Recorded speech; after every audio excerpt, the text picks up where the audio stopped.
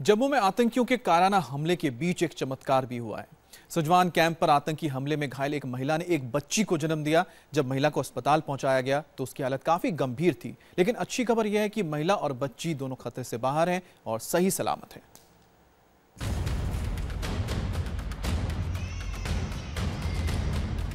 एक दिन की ये नन्ही बच्ची जवाब है उन दहशत गर्दों को जो अमन और चैन के दुश्मन हैं।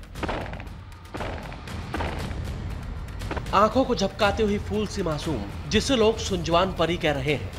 वही सुंजवान जो शनिवार को आर्मी कैंप पर हुए आतंकी हमले के बाद थर्रा उठा था। लेकिन जब सुंजवान कैंप में गोलियों की आवाज़ गूंज रही थी तो यहाँ के आर्मी हॉस्पिटल में गूंज रही थी इस मासूम की किलकारियाँ। जिस सुंजवान कैंप में आतंकी ज़िंदगी खत्म करने पर आमादा थे, उसी इलाके में एक मासूम सी ज़िंदगी दुनिया में कदम रख रही थी। दहशत के माहौल के बीच अपनी आँखें खोल रही थी। शनिवार को सुंजवान आर्मी कैंप पर हुए आतंकी हमले में जो लोग घायल हुए, उनमें यह महिला भी शामिल है।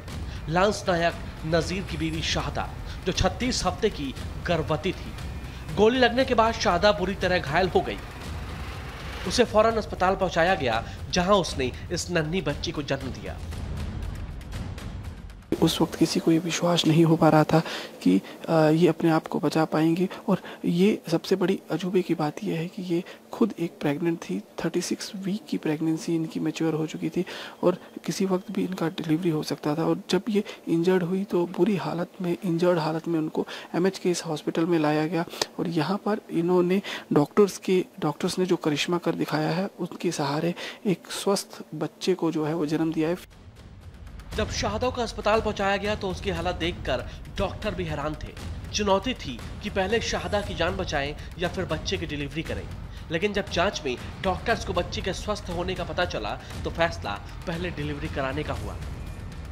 कई घंटों तक चले इलाज के बाद आखिरकार बच्ची ने इस दुनिया में अपनी आँखें खोली। आतंकी हमले की मायूसी के बीच इस कोमल से बच्ची का चेहरा देखकर हर किसी का चेहरा खेल उठा। बच्ची का वज़न ढाई किलो है और वह बिल्कुल स्वस्थ है। डॉक्टर्स ने ही इस फूल से बच्ची को संजवान परी का नाम दिया है। अपने इससे पहले भी बहुत सारे बच्चे गोद में उठाए होंगे लेकिन ये बच्चा स्पेशल हाँ ये बच्चा स्पेशल है क्योंकि जिस हालात में हमने माँ को रिसीव किया था हमें डर था कि कहीं कोई इंटरनल इंजरी ना हो। लेकिन हमारे डॉक्टर्स ने इमरजेंसी डिपार्टमेंट सारा स्कैनिंग करके ये पता चल गया कि एटलीस्ट बच्चा स्वस्थ हालत में है और उन्होंने तुरंत डिसीज़न लिया कि बच्चे को पेट से निकाला जाए। जब जम्मू कश्मीर के सीएम को शाहदा के बारे में पता चला तो वो भी अस्पताल पहुँची। सीएम ने न सिर्फ़ बच्ची को देखा, बल्कि शाहदा का हौसला भी बढ़ाया, जिसने आतंकियों की गोली के बावजूद हिम्मत नहीं हारी। शाहदा और उसके बच्चे संजवान पर ही यकीनन उन आतंकियों के मुँह पर करार तमाचा है। जो इंसानियत के कातिल बनकर ज़िंदगी खत्म करने पर उतारू थी। लेकिन मौत की कैद सोच के आगे ज़िंदगी की जिद भारी पड़ी। Raman Saini, India TV, Jammu.